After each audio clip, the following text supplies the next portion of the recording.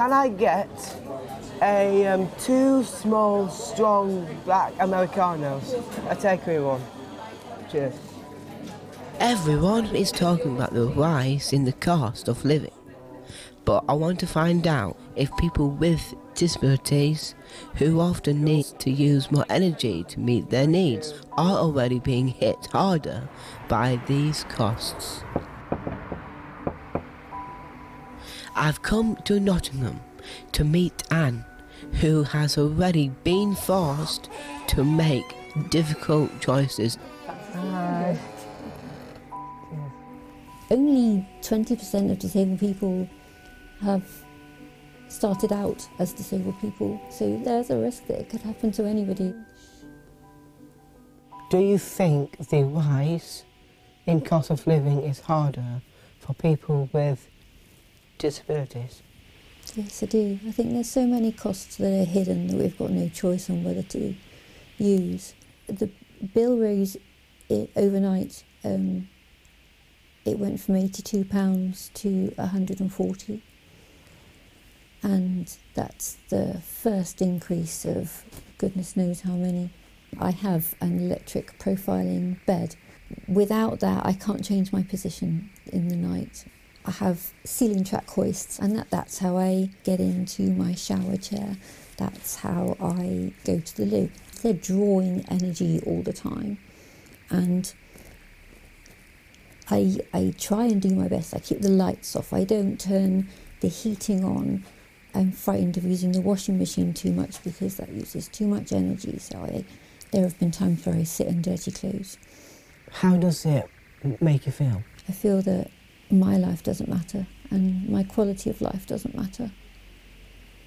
And it's, it's just because I'm disabled. Um, I am capable of so many things if given the opportunity.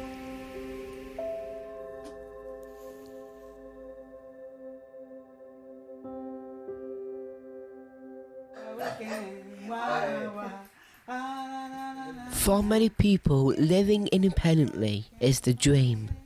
But this comes with additional costs, which family members are often forced to meet. Because of David's autism, he has set things that he likes to do that he can't change. So he has flashing disco lights throughout his bedroom that are on for probably six to eight hours a day. He has a CPAP machine on a night because he has sleep apnea. So we can't decide he has that on less. Why is it important that Dave has his own home? Dave, What? do you like living on your own? Yeah. He's strongly independent. We, we've pushed that he has as much choice as possible. In my home, I've been able to lower my usage to cope with the increased prices. Here, we can't. David's needs haven't changed, so his usage hasn't changed. It's just become more expensive. So how do I how do this? How are you coping? I haven't got extra money, which means that David's extra usage goes onto credit cards or with loans. Do you love him? It's because he hasn't got the understanding of the changes that are needed that it's unfair. So that for me is discriminatory.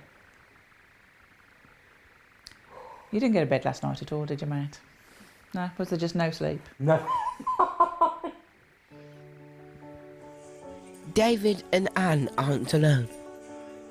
Scope has given Channel 4 exclusive access to a report being published which shows that disabled people are far more likely to feel the effects of the rise in the cost of living. So um, can you tell me about the report and what did you find out?